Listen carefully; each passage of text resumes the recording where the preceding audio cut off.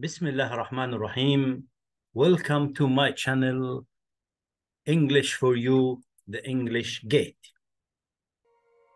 In today's video, we're going to clear up the confusion that the words little, a little, few, and a few create for many of us.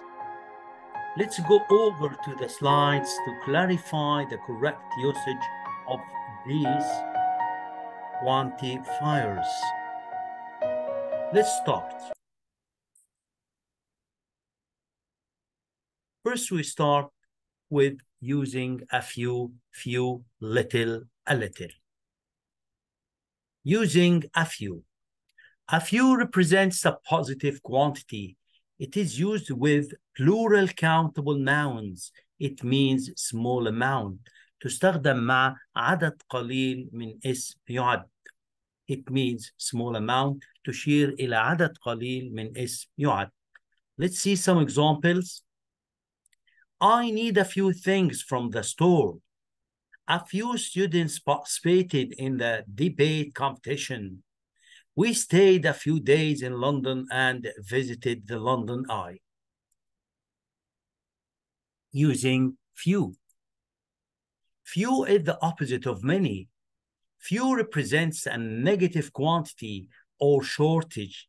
It is used with plural countable nouns تستخدم أيضا مع الأسماء التي تعد وتشير إلى عدد قليل جدا لا يذكر.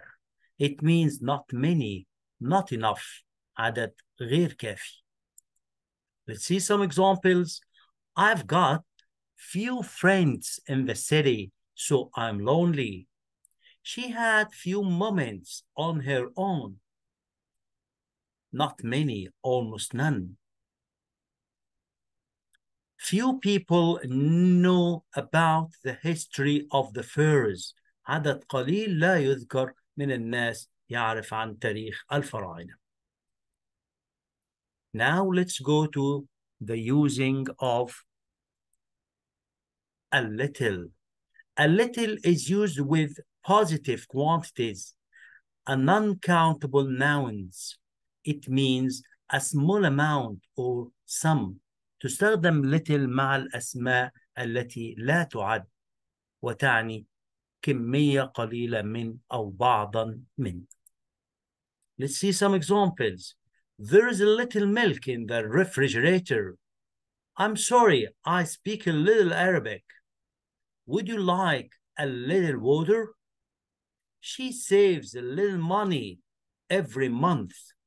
Some or a small amount. كمية قليلة من المال. Can't you discount it a little? Let's see using of little. Little is the opposite of much. Little expresses a diminutive size or negative quantity. كمية قليلة جدا لا تفي بشيء معين. Little means almost nothing or not enough. For example, when I say, there was little time to finish my homework. وقت قليل جدا لا يفي بإنهاء الواجب. There is a little chance that the team will win. Have you got any money? No, very little. Not much, almost, almost nothing. كمية قليلة من المال لا تفي بشراء شيء معين. That's the end of our video today. I hope you have got the benefit. Till we meet again, I wish you the best of luck.